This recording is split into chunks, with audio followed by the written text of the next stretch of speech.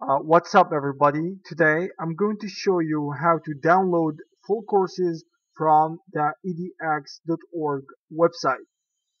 And first let's actually, let me show you an example of a course that I downloaded myself. This is what the course looks like here uh, on the website. These are the different sections of the course and as you can see here, uh, this is what it looks like on my machine.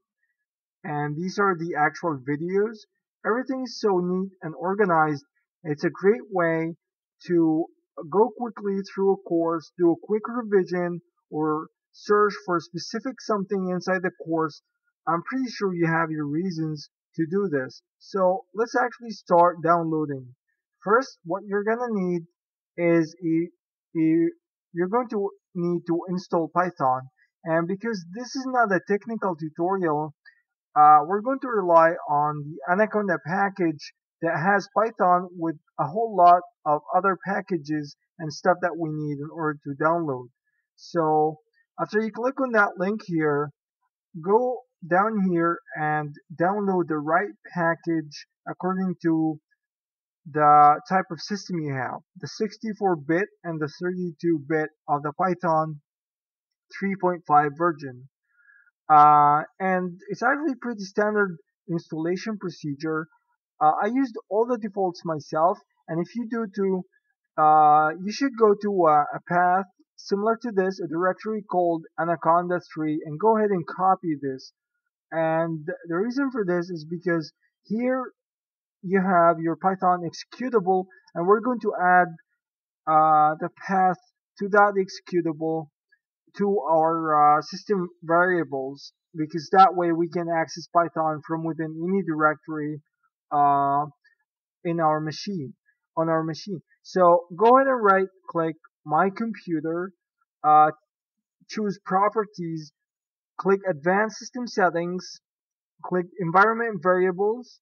Under system variables here, scroll down to path.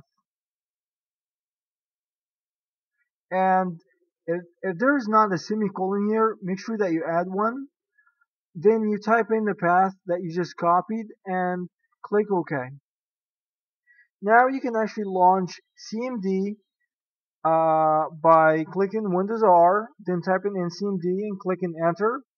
If you type in Python now, you should get this, which means that you have successfully installed Python go ahead and click Control Z to exit. Now, let me actually uh, give you a tip.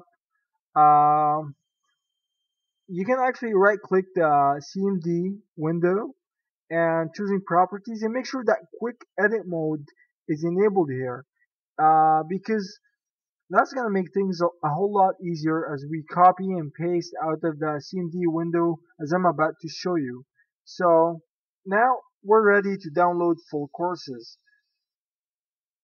go to Google and type in edx edx-dl and click on that website right here.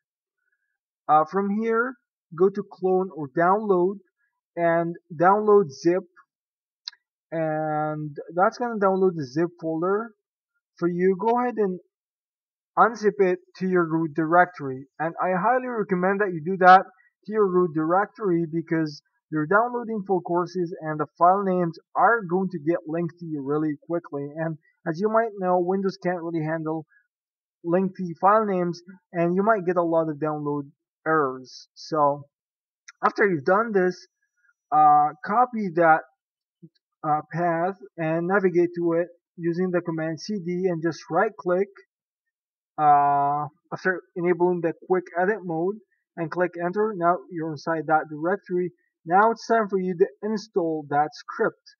Uh, go ahead to the re readme file here. It contains a lot of description on installation and how to use it. So uh, I recommend that you read uh, this stuff. I'm actually going to give you a demonstration using my own account. So first, you install it using this command here. Uh, and because I already installed it, you click enter it's going to install it for you I already installed it you also update the, the YouTube downloading part of the program using this command here I already did that.